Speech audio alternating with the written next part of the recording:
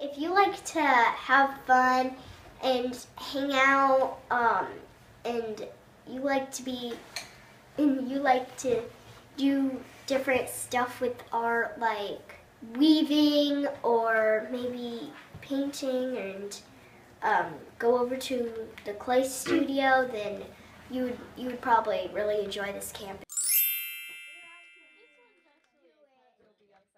Well, I picked up a few friends. I made tons and tons of artwork. I made lots of things. How many things did I make? Um, we made these duct tape water bottle holders. This is my water bottle holder.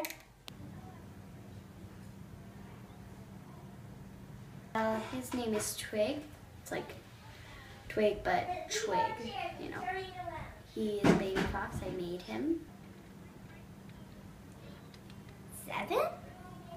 And we can hold it with this strap like that. We painted and sometimes we had free time and we got to like draw pictures.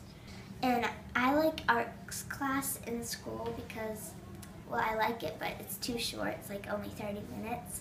And this camp is like, it's like art camp. All, it's like art class all day. A lot of us at the at uh, this camp are, are a lot alike. We're all silly, very very silly. We all like art. That's pretty much it. Because uh, turtles are green. Like here.